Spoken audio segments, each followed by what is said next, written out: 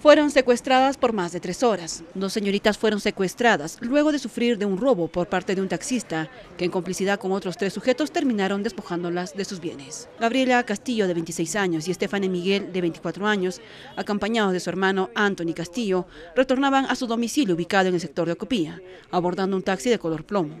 Eran aproximadamente las 3 de la mañana, cuando el vehículo llegaba a las intersecciones de los girones José Olaya y Pichis, tres sujetos subieron al taxi ocupando los asientos del copiloto y lateral de los pasajeros.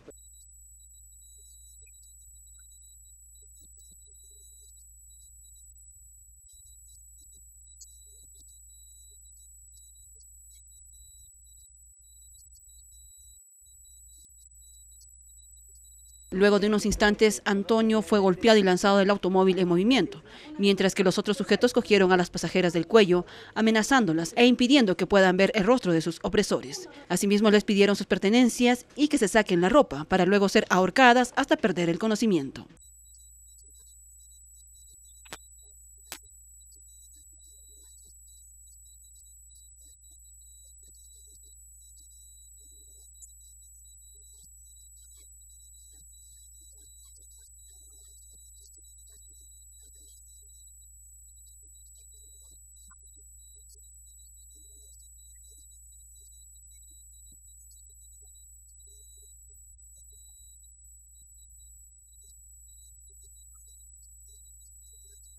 El joven al querer realizar la denuncia en la comisaría de Chilca no habría sido recibido. Por ello los amigos y familiares exigieron la búsqueda inmediata de las señoritas que luego de más de tres horas fueron encontradas.